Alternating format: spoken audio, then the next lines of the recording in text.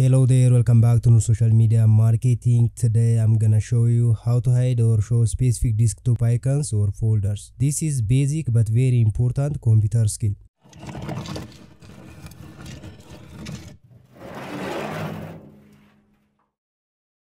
Today I wanna hide these four icons from my desktop and finally I will show you how to unhide or get them back on our desktop.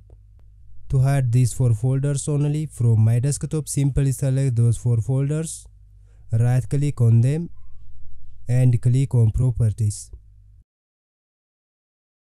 Then click on general tab and select the hidden checkbox.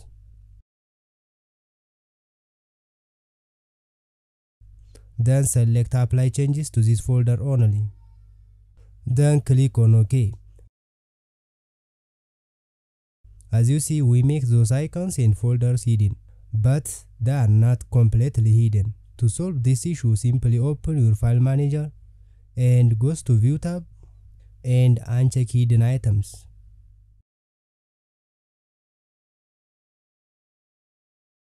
As you see, those four folders are completely hidden from my desktop. To unhide those hidden icons or folders, simply do the next steps.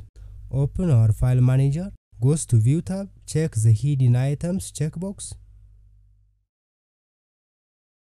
As you see, the folders become visible on my desktop, but still they are not completely visible.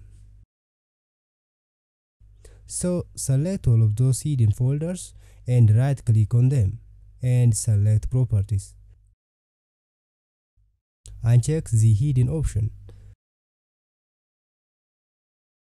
Click on Apply and select Apply changes to the selected items, subfolders and files. Then click on OK. Then click on OK once again.